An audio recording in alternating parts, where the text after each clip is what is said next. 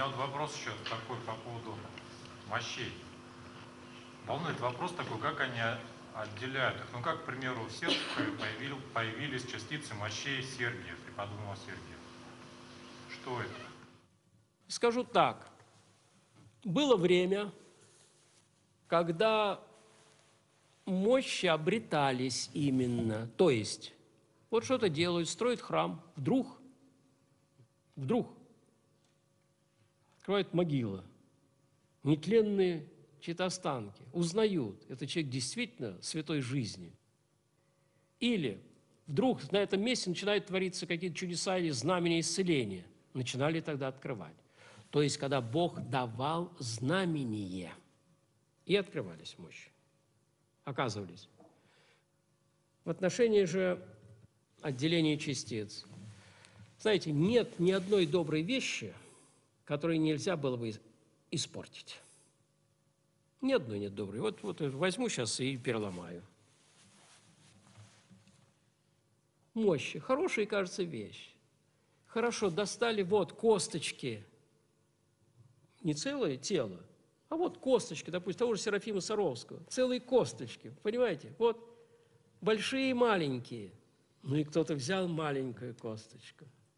Правда же?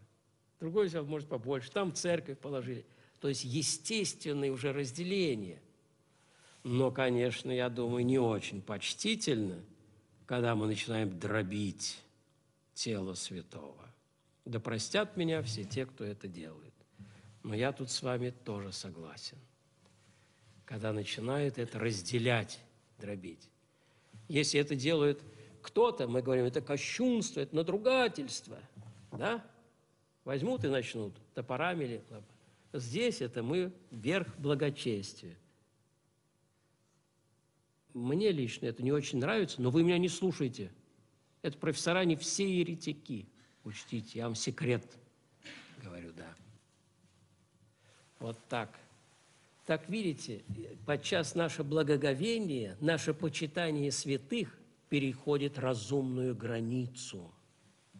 И мы начинаем эту, безумствовать, я другого слова не нахожу, когда буквально раздираем на части тело святого. Где тут разум, где благоговение? Но другое дело, я вам скажу, когда действительно, когда вот собрали косточки, части, отделившиеся сами собою, волосы отдельные, что-то, ну разве это действительно, ну действительно человек захочет взять это, сохранить? Как же, как многие хранят там волос своей матери там, или жены там, или ребенка – что-то, но никто же своего ребенка как бы не любил, не отрежет же ему голову и не положит же у себя, правда? Вы слыхали когда-нибудь такое, чтобы сделал кто-нибудь? Или ногу, или руку? Своего любимого, вот. Кого? Жены, мужа. Слыхали ли когда-нибудь такое? Никогда, я думаю, не слыхали. Хоронили. В обморок тут падают, чуть ли в могилу не кидаются, держат. Но никогда этого не делали. Во всем вот еще один пример. Относиться с рассуждением. А то подчас у нас благочестие затмевает разум настолько, что уже начинаем делать не знаю что.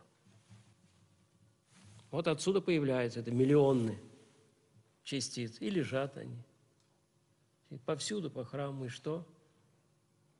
Когда их множество, что? Ну ничего, подошли, что? Какую спасительность-то? Хотя бы подумали об этом.